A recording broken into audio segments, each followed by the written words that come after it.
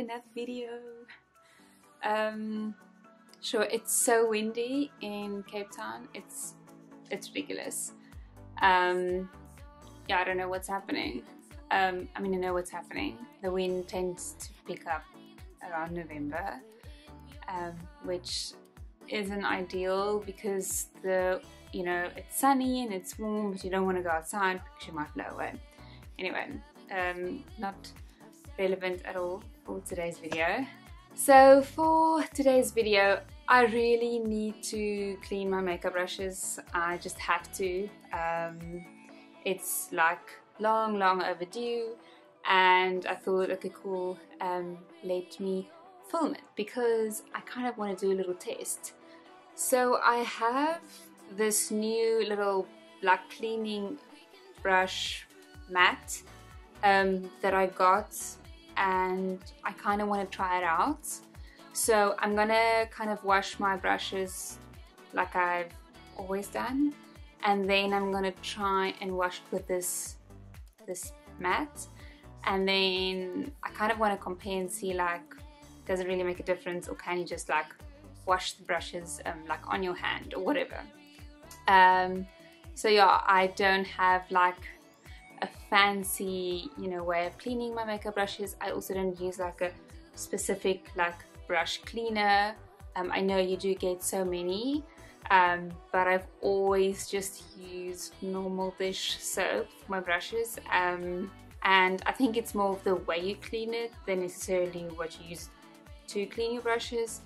I know um, that you do get a lot of antibacterial washing products that you can use like I don't know vinegar and stuff but I do also know that if the product is that strong it might hurt the bristles as well as the glue that holds all the bristles still. And you know you don't want that either because then later on you're gonna have nothing left. So um, I trust the good old kind of dish soap. It's not too strong but it is antibacterial so what you can also do is you can kind of gently wash it with that and then afterwards just brush it through some micellar water which you know we tend to use on our face to take off any makeup um, and you know micellar water is quite gentle on your face so it will also be gentle on the brushes. So I am only going to use sunlight liquid and then we can just rinse a little bit of micellar water through the brush. So yeah, I'm just going to show you how I do it normally and then what it looks like when I use a little mat. And let's see if there's any difference to it. Okay, so let's go.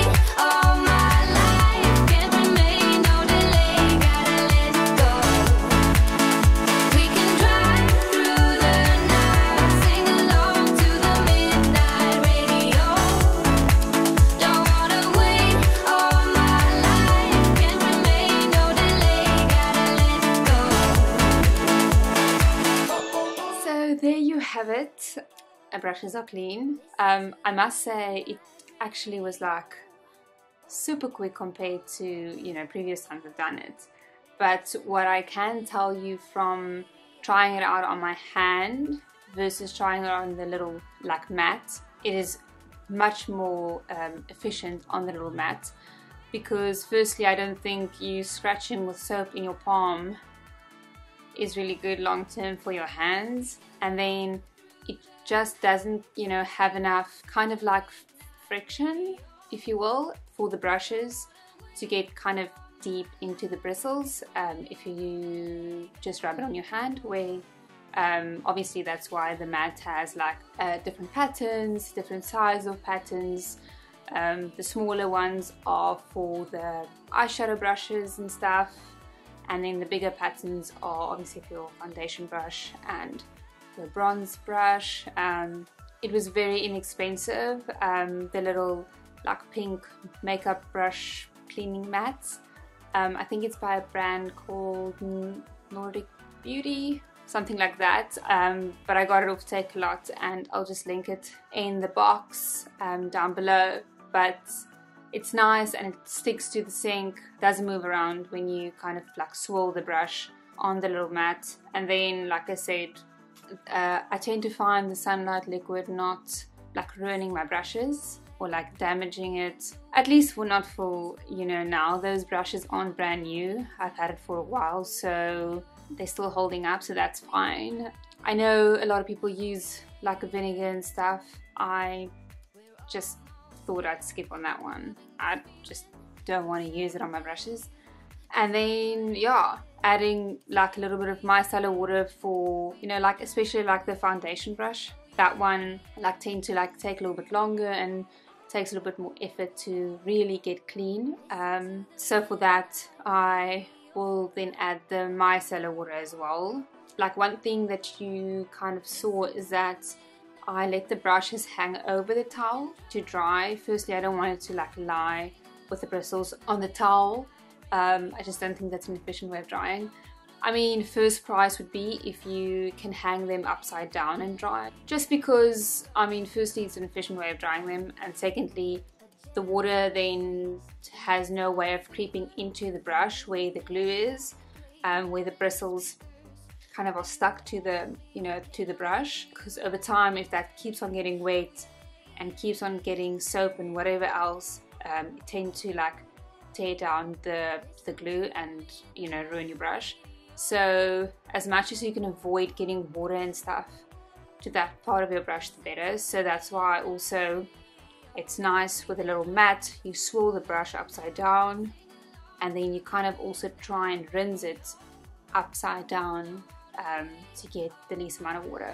That's it. I don't know why I don't do this more often. It like took like a couple of minutes. So yeah, um, just like a quick little fun like DIY how do I clean my makeup brushes without actual makeup brush cleaning product. Like I said, I haven't tested those out. They are maybe brilliant, a lot better than Sunlight Liquid, but I don't have it I don't want to go and buy it right now. I have to clean my brushes, so for me this works. But yeah, um, hope you enjoyed this little video and I will see you in my next video. Bye everyone!